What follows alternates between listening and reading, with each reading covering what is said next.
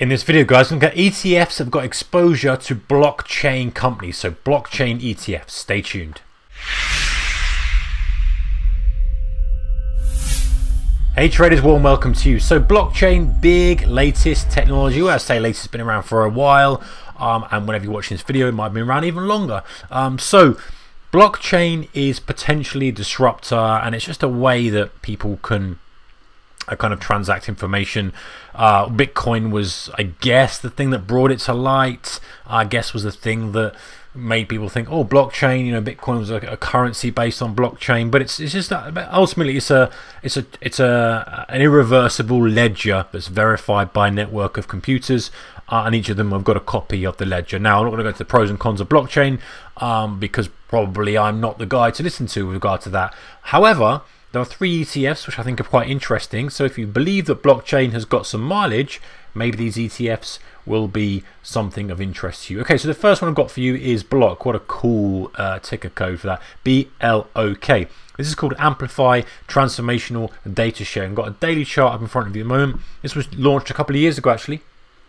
And um, what are we doing? Let's get on daily charts so we can see what's going. Currently trading about $18. Uh, these, this company, or sorry, this ETF um, has the top three allocations of uh, Digital Garage, which is an over the counter company, is about 6% or 7% of the fund of that. GMO Internet, uh, again about 6.5%, and Square. Uh, and in total, it's got 52 holdings in the basket. Now, the uh, management fee is quite a reasonable 0.7%. That's not as low as some of the really low trackers, but it's, you know, considering it's reasonably actively managed, um, it's not too bad. And you can see kind of the performance of the fund over this period. In fact, it'd probably be prudent of us to have a little look and see this over the counter stock. Uh, the biggest one, it's got DLGEF, Digital Garage. Let's have a look and see how that's done. So, obviously, being over the counter, um, you're not going to get much information on that, but you can see it's kind of been all over the place, not done an awful lot. Uh, Square is a bit more bit popular, a bit more volume in that, and Nasdaq holding uh, that looks like it's doing okay. So perhaps the others are dragging it down. So that's BLOK, guys. That's got um, uh, you know, reasonable management fee, and I think it's got something like 167 uh, billion assets under management. So it's doing okay.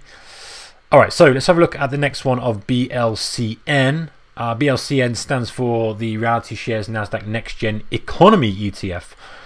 Uh, obviously, it doesn't look so good on this chart, but let's have a look and see exactly what it's done. So, um, this was formed, it looks like it was beginning of this year, in January 2018, when I filmed this video. Uh, it basically seeks to replicate the returns of the Reality Shares Nasdaq Blockchain Economy Index. Uh, so it's got 115 uh, million um, asset pool and securities that make up the benchmark index. Let's look at the major holdings. So it's got the top 10 holdings carry a combined weight of about 21%, uh, and they big boys like AMD, which we are probably all familiar with, uh, Intel, and Microsoft. So you know that's an interesting one. I've got a kind of different angle on that BLCN. Um, it's the expense ratio 0.68%, which uh, doesn't seem excessive to me. Uh, slightly above kind of the average. I think it's the average about 0.5%, but it's not excessive. Uh, and you can see the returns it's had as we've done this chart. All right, so the next one I have for you is KOIN, another great ticker code. This was brand new this year, January 2018. This is the Innovation Shares Next Gen Protocol ETF, and it tracks the performance of the Innovation Labs Blockchain Innovators Index. And it aims to do this by investing at least, um, I think it was 85% or 80% of the assets in those securities under an index. Top four holdings of this one are Visa, Amazon, Microsoft, and Intel. That whole that accounts for like 28% of it, um, and it's got 45% of stocks in the basket. It's only got a 7.3 million in net assets in this one. Uh, an annual fee of 0.65%.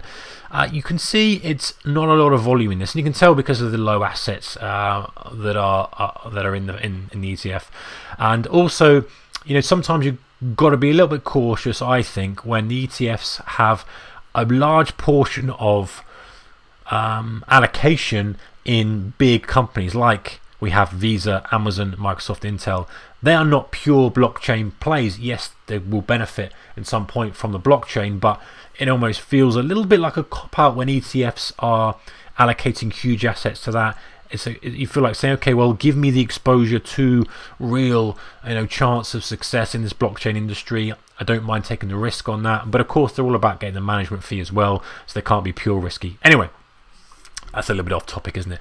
Uh, three of them for you there BLCN, KOIN, These all have some exposure or one way or another to the blockchain ETFs. One way of getting exposure potentially to blockchain if you think that it's got some mileage in the long term. Whatever you do, keep your risk managed. Take care. Bye bye.